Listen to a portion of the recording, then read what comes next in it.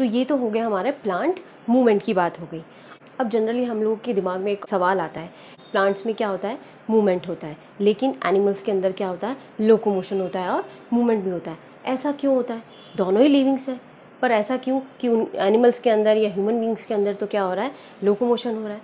तो हर चीज़ के पीछे क्या होता है? कॉन्सेप्ट होता है। प्लांट्स के अंदर आप लोगों ने सुना होगा कि प्लांट्स क्या करते हैं? फोटोसिंथेसिस करते हैं। जो फोटोसिंथेसिस करने का मतलब क्या होता है? कि वो अपना खाना खुद बना सकते हैं। ठीक है? खाना खुद कैसे बनाते हैं कि उनको फोटोसिंथेसिस के लिए उनको क्या चाहिए होता है? पानी चाहिए होता है वाटर चाहिए, ठीक है? कार्बन डाइऑक्साइड चाहिए और सनलाइट चाहिए। इन तीनों की प्रेजेंस में वो क्या करते हैं? फोटोसिंथेसिस का प्रोसेस करते हैं। यानी वो अपने खाने के लिए किसी और पे डिपेंड नहीं है। डिपेंड नहीं है, उनको एक ही जगह पे वो सारी चीज़ अवेलेबल हो जाती है, जो चीज़ उनको अपने सर्वाइवल के लिए चाहिए होती है। और सर्वाइवल के लिए क्या चाहिए? सबसे मोस्ट इंपॉर्टेंट खाना चाहिए फ़ूड चाहिए एनर्जी चाहिए। एक जगह से ही उनको हर चीज़ क्या हो रही है? मिल रही है। इसी वजह से उनको लोकोमोशन करने की कोई ज़रूरत नहीं होती है। इसीलिए प्लांट के अंदर क्या होता है? सिर्फ़ मूवमेंट होता है लोकोमोशन नहीं होता। और जस्ट अपोजिट एनिमल्स के अंदर क्या होता है? फोटोसिंथेसिस का प्रोसेस नहीं होता है। और जिसमें फोटोसिंथेसिस का प्रोसेस नहीं हो रहा है, वो अपने फ़ूड के लिए किसी और पे डिपेंड है। यानी प्लांट्स पे डिपेंड रहते हैं हम लोग। और जब हम डिपेंड रहते हैं इंडिपेंडेंट नहीं है तो हमें उसके लिए क्या होता है? लोकोमोशन की ज़रूरत होती है। हमें वहाँ तक जाना पड़ेगा अपने खाने के लिए। हमें मोशन करना होगा लोकोमोशन करना होता है ज़रूरत होती है चलने की। ह्यूमन बींग्स और एनिमल्स के अंदर क्या होता है? लोकोमोशन होता है और प्लांट्स के अंदर सिर्फ़ और सिर्फ़ मूवमेंट होता है। ठीक है? ये बात क्लियर हो गई? अब हम बात करते हैं हमारे यूनिसेलुलर के मूवमेंट की कि सिंगल सेल है यूनिसेलुलर है उनके अंदर भी मूवमेंट होता है। जो हायर एनिमल्स हैं उनके अंदर क्या होता है? पैर होते हैं। ठीक है? लेकिन यूनिसेलुलर सिंगल सेल, उसमें इतनी स्ट्रक्चर होती नहीं है कि पैर निकल जाए। नेकेड आई से दिखते नहीं तो पैर कहाँ से दिखेंगे? तो उनके अंदर कैसी स्ट्रक्चर होती है जिसकी वजह से वो लोकोमोशन करते हैं? यूनिसेलुलर के अंदर भी क्या होता है? लोकोमोशन होता है, ठीक है? तो अब हम पढ़ेंगे। यूनिसेलुलर के अंदर किस तरह से लोकोमोशन होता है? लोकोमोशन के लिए यूनिसेलुलर के अंदर तीन तरह के ऑर्गन्स होते हैं। तीन तरह के ऑर्गन्स होते हैं। फ़र्स्ट होता है आपका सूडोपोडियम सेकंड होता है आपका सिलियम थर्ड होता है आपका फ्लैजिलम ठीक है?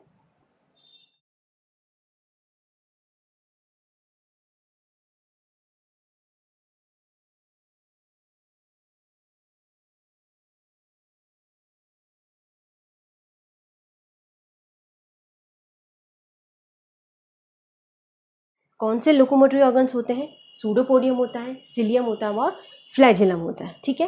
अब बात आती है कि ये जो लोकोमोटरी ऑर्गन्स होते हैं, इनके ब्रांड एम्बेसडर कौन है? कौन से ऐसे रिप्रेजेंटेटिव है जिनकी, जिनके अंदर ये सूडोपोडियम होता है सिलियम होता है और फ्लैजिलम होता है, ठीक है? ताकि उनके बारे में हमें पता रहे कि ये तीनों के अंदर क्या होते हैं, ये अलग अलग तरह के लोकोमोटरी ऑर्गन्स होते हैं। तो हम सबसे पहले पढ़ते हैं सूडो पोडियम के बारे में। तो सूडो सूडोपोडियम का मतलब क्या होता है? जैसे नाम से पता चल रहा होगा।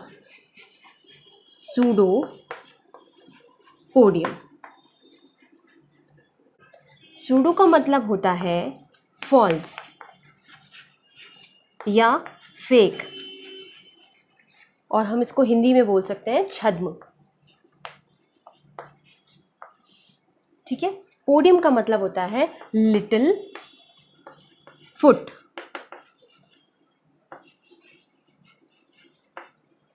पोडियम का मतलब होता है लिटिल फुट, छोटा पैर।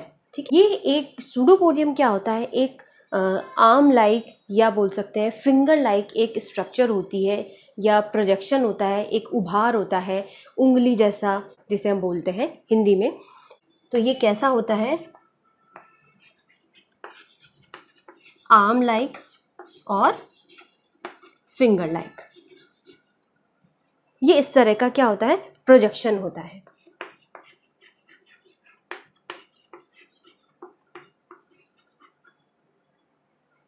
ठीक है? अब सूडोपोडियम का जब नाम आता है, तब इसका ब्रांड एम्बेसडर कौन है? किसके अंदर ये सूडोपोडियम बनता है? तो सबसे इंपॉर्टेंट एग्ज़ाम्पल है आपका अमीबा। अमीबा के अंदर जो लोकोमोशन होता है वो किसके ज़रिए होता है? सूडोपोडियम के ज़रिए होता है। सूडोपोडियम का रिप्रेजेंटेटिव कौन है? अमीबा होता है। जहाँ भी नाम आता है सूडोपोडिया का तो याद रखना कि सूडोपोडिया का मतलब क्या है? जैसे अमीबा के अंदर लोकोमोशन होता है उसी लोकोमोशन की बात की जा रही है जहाँ पर सूडोपोडियम की बात आ रही है। ठीक है। इसका एग्ज़ाम्पल क्या है? अमीबा।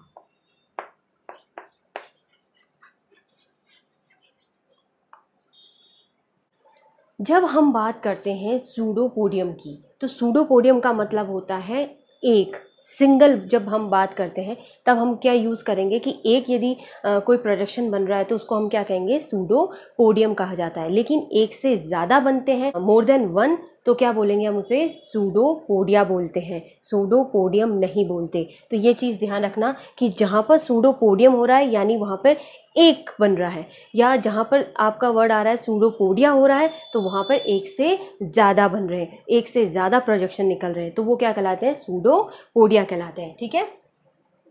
तो ये इसका एक तरह से प्लूरल है। तो प्लूरल क्या कहलाता है आपका? सूडो पोडिया ठीक है? ये चीज़ याद रखना कि जब ये वर्ड यूज़ हो रहा है, तब क्या है? मोर देन वन है, एक से ज़्यादा बन रहे हैं। और जब सूडो पोडियम यूज़ होता है, जहाँ पोडियम आ रहा है, वहाँ पे क्या हो रहा है? एक बन रहा है, एक प्रोजेक्शन बन रहा है, ठीक है? सेम है सिलियम जब वर्ड आता है सिलियम तब हम एक सिंगल की बात करें, एक की बात करें, तब हम यूज़ करते हैं सिलियम अब सिलियम लोकोमोटरी ऑर्गन कहा, क्या होते हैं? ये होते हैं, बहुत छोटे हेयर लाइक प्रोजेक्शन होते हैं, ठीक है? हेयर लाइक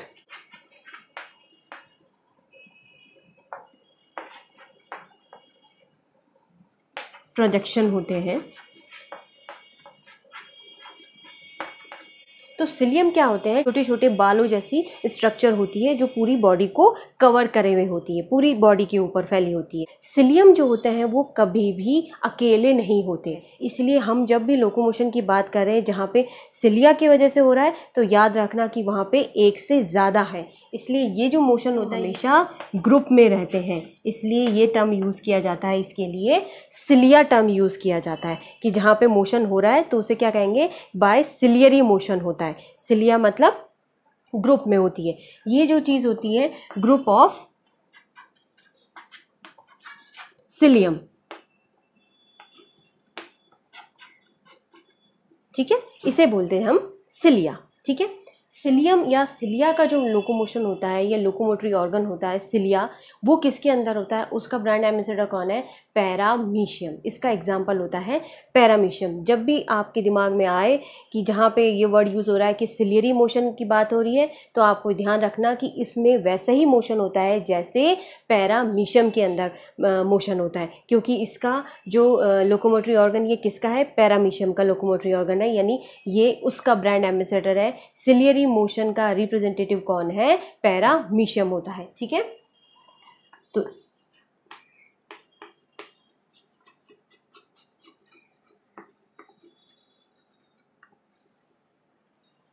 ठीक है?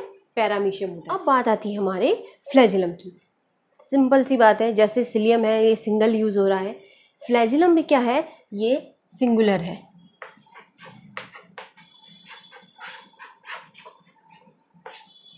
फ्लैजिलम का मतलब एक। जब एक होगा लोकोमोटरी ऑर्गन तो उसको, उसके लिए क्या यूज़ किया जाएगा? फ्लैजिलम यूज़ किया जाता है। लेकिन जब मोर देन वन होता है, एक से ज़्यादा होता है, तब उसके लिए हम यूज़ करते हैं फ्लैजिला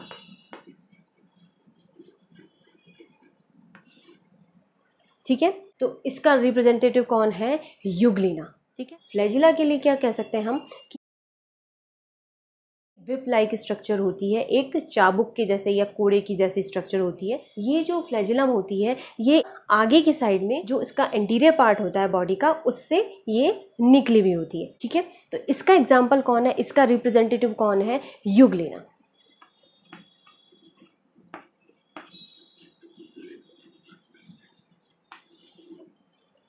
अब मैंने आपको ये तीनों बताए हैं फ्लैजिलम सिलियम और सूडोपोडियम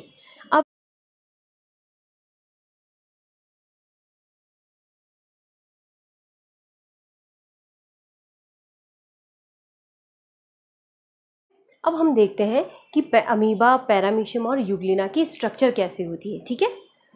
अमीबा की स्ट्रक्चर होती है, अमीबा का कोई पर्टिकुलर शेप नहीं होता। वो मर्ज़ी है जैसा शेप बना लेता है, चाहे कोई रेगुलर स्ट्रक्चर नहीं है अमीबा की, ठीक है? तो वो किसी भी शेप में अपनी बॉडी को ढाल लेता है या बना लेता है। ये जनरली हम एक तरह से बना देते हैं कि ये ऐसे, इस तरह की। ये कभी राउंड भी हो जाता है। क्यों होता है? क्योंकि इसके ऊपर कोई सेल वॉल नहीं होती इनमें। जब सेल वॉल नहीं होती है तो क्या होता है कि कोई बाउंडेशन नहीं होती। जब बाउंडेशन नहीं होती तो इनका शेप जो होता है, वो कैसा होता है? इरेगुलर शेप होता है। ठीक है? इसके अंदर अमीबा के अंदर ये जो स्ट्रक्चर है, ये इस तरह से जो प्रोजेक्शन निकलता है, ये क्या कहलाता है आपका? सूडोपोडियम कहलाता है। ठीक है? अमीबा जो होता है, उसके अंदर एक से ज़्यादा सूडोपोडियम बनते हैं। इसलिए अमीबा को क्या कहा जाता है? मल्टीपोडियल कहा जाता है। ठीक है? अमीबा मल्टीपोडियल होता है। अब बात आती है पैरामीशियम की। पैरामीशियम की स्ट्रक्चर कैसे होती है? ये स्ट्रक्चर होती है हमारे स्लीपर जैसी। ठीक है? एक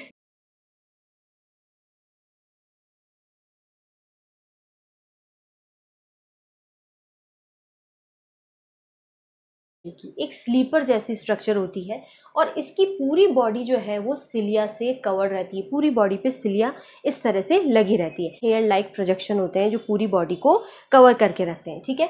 इनका जो शेप होता है, ये पैरामीशियम का जो शेप होता है, वो एक स्लीपर जैसा होता है। इसलिए इसको हम क्या बोलते हैं? स्लीपर एनिमल क्यूब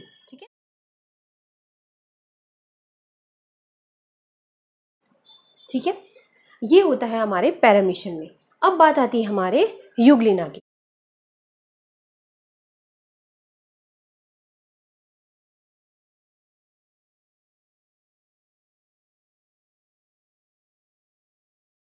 यूग्लिना की स्ट्रक्चर होती है इस तरह से कि यहाँ पर जो फ्लैजिलम निकल रही है, इसकी जितनी बॉडी की लेंथ होती है, उतनी बड़ी क्या होती है? इसकी फ्लैजिलम होती है। यूग्लिना की खास बात यह है कि इसके अंदर जो फ्लैजिलम है, वो दो बनती है। बनती यहाँ पे दो है, लेकिन एक बहुत छोटी होती है, जो किसमें, इसमें ही अटैच हो जाती है। कहने का मतलब है, ये यहाँ जाके फ्यूज़ हो जाती है। तो फ्यूज़ होने से क्या होती है कि एक ही फ्लैजिलम जो है, वो बॉडी से बाहर आती है, ठीक है? तो जब हम इसकी बात करते हैं तो ये क्या कहलाएगी? आपकी फ्लैजिलम कहलाती है।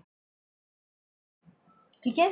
यहाँ पे जो सिलिया है, वो क्या कहलाएगी? यहाँ पे ये जो एक एक होगा तब क्या कहलाएगा? ये सिलियम कहलाएगा। लेकिन सिलियम जो होती है, वो कभी भी सिंगल नहीं होती। तो ये ग्रुप में होती है, इसलिए ये जो क्या कहलाता है कंबाइंड रूप से सिलिया कहलाता है। जब भी हम पैरामीशियम की बात करेंगे तो हम हमेशा सिलिया की बात करेंगे। इसकी खास बात क्या होती है कि युगलिना के अंदर क्या होता है?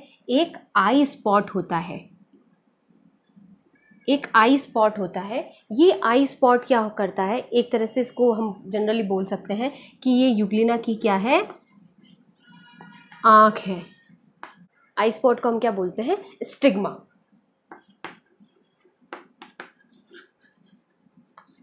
ठीक है? इसका जो एक्चुअल नाम है वो स्टिग्मा होता है। हम इसे नॉर्मल जो एक समझने के बाद से बोले तो ये क्या होता है? ये एक्ट करता है स्टिग्मा एक आई की तरह। तो इसको हम क्या बोल सकते हैं? आई स्पॉट भी बोल सकते हैं। ठीक है? तो तो फ्लैजिलम जो है, वो हमेशा किस डायरेक्शन में होती है? जिस डायरेक्शन में ये आई स्पॉट होता है या स्टिग्मा होता है, ठीक है? अब हम जनरली कभी कभी क्या होता है कि कुछ, हम एक नॉर्मल टर्म में बोल देते हैं कि ये लोकोमोशन हो रहा है, यानी लोकोमोशन किसमें होता है? एनिमल्स में होता है। तो हम इन अमीबा पैरामीशियम युगलिना को हम एनिमल्स नहीं बोलते, लेकिन हम इन्हें क्या बोल सकते हैं कि ये प्रिमिटिव एनिमल्स हैं। यानी उनमें जो लोकोमोशन हो रहा है, वो किसकी कैरेक्टरिस्टिक होता है? लोकोमोशन हायर एनिमल्स और ह्यूमन बींग्स का होता है। लेकिन लोकोमोशन इनमें भी हो रहा है तो हमारा जो डेवलपमेंट हुआ, मैंने आपको डेवलपमेंट बताया था यूनिसेलुलर से डेवलपमेंट किसका हुआ है? मल्टी से हुआ है, ठीक है? तो इसको हम क्या कर सकते हैं? प्रिमेटिव एनिमल्स भी बोल सकते हैं।